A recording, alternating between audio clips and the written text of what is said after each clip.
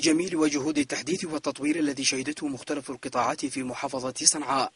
كرمت النقابة العامة للمهن التعليمية والتربوية فرع المحافظة الشيخ نعمان صالح دويد بدرع الوفاء تقديرا لما قدمه من جهود جبارة وإسهامات إيجابية في خدمة وتطوير الجانب التعليمي والتربوي في المحافظة. أتينا في هذا اليوم لزيارة هذه القامة السامقة في سماء الوطن التي لمست أو لمس التربويون كل حب وتقدير لهذا الرجل.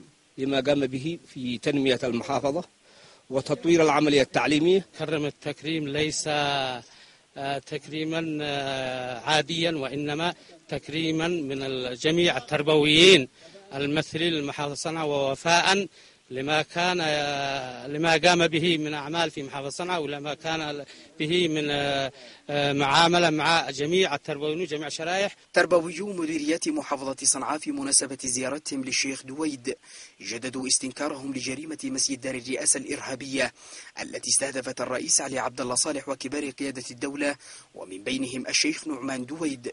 مطالبين أجهزة القضاء سرعة تحريك ملف الجريمة وصولا إلى محاكمة المتورطين فيها ليكونوا عبرة لغيرهم. نطالب القضاء بسرعة إحالة الجناه الذين قاموا بالعمل الإرهابي والإجرامي في جامع النهدين. نطالب بإحالتهم إلى القضاء. ولا زلنا واثقين تمام الثقة بعدالة القضاء اليمني.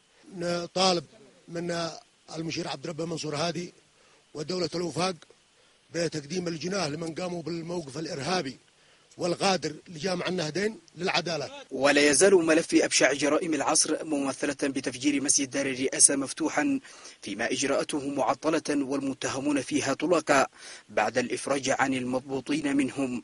لكأنها دعوة صريحة للإرهاب وشريعة الغاب. مختار الخطيب اليمن اليوم صنع